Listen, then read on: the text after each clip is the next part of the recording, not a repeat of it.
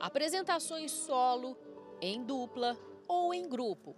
Bailarinos iniciantes e experientes compartilham o palco do festival que reúne os melhores dançarinos de todo o Brasil.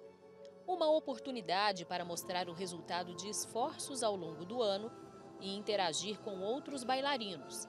A Clarissa veio de Marília, no interior de São Paulo. A bailarina experiente fala da paixão pela dança. Esses festivais são muito importantes pela experiência que a gente tem no palco e também é, por conta desse intercâmbio que a gente te, acaba tendo com outros bailarinos e também com os jurados que são internacionais. Então acaba sendo muito agregador né, para a gente.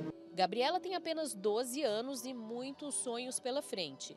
É a primeira vez que participa do festival. Eu sempre gostei de balé, tipo, toda menina normalmente vai pro balé desde pequena, e eu só resolvi continuar. O Festival Internacional de Dança Goiás chega à oitava edição com um número recorde de participantes.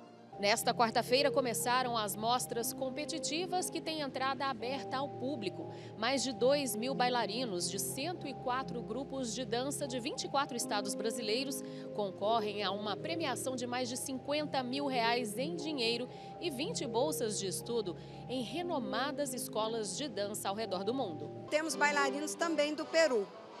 E nós estamos muito surpresos com a qualidade, com o nível dos bailarinos nível técnico e nível artístico fenomenal. Consolidado entre os mais importantes festivais de dança do país, o evento reúne estilos diferentes que vão do balé clássico à dança contemporânea, passando pelo jazz, sapateado, danças populares.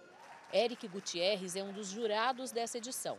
Bailarino, professor, diretor artístico e coreógrafo, ele elogiou o nível técnico dos participantes. E a gente tem um trabalho aqui que a gente percebe que é tudo bem criterioso, selecionado, né, dedo a dedo, então a gente tem um alto nível nesse evento. O festival vai até domingo, quando está previsto o encerramento e a entrega das premiações na noite de gala. Até lá, as mostras competitivas, feiras e workshops são abertos ao público. Vem prestigiar, vem assistir. No domingo temos a gala.